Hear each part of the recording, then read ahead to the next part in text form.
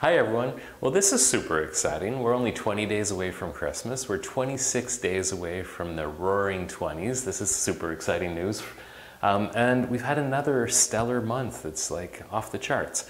Uh, there seems to be no end in sight to this Ottawa real estate market craze that we're in. So what are we seeing in the month of November? Well, we're still carrying less than two months of standing inventory. So that means that if no other new houses came to market, we'd have nothing to sell in two months. So that's a very tight, sellers oriented market. Uh, the sales are up almost 11% from a year ago.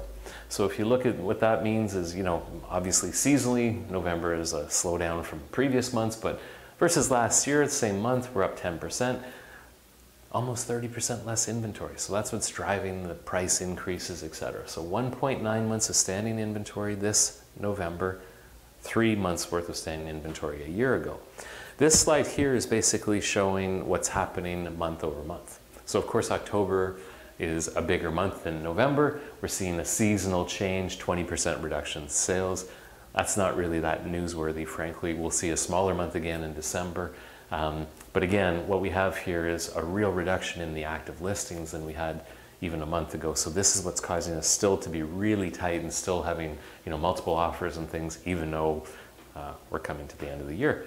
So there's your graph of just seasonal changes. Of course, second quarter is where all the activity happens, and we'll just have a, a slow decline throughout the end of the year. November is bigger than expected, bigger than last year, but of course smaller than previous months. And December will be more of the same. Um, so this is exciting. Uh, average sale price in Ottawa has crested 500. So this is kind of like a new threshold for us, a new high water mark of sorts. We've got a 16.9% increase year over year on prices for that month, so almost 17% increase. And the condos are doing quite nicely at a 9.8% increase year over year. Listen, I don't have a crystal ball. Uh, we're excited to see what 2020 has to bring. I mean, my early prediction would be I'm expecting more of the same. We just haven't caught up on inventory to change this. It's a very exciting time to be a seller and a bit challenging to be a buyer, but you know what? We're here to help you navigate through the process. All the best to all of you. We'll see you in the roaring 20s.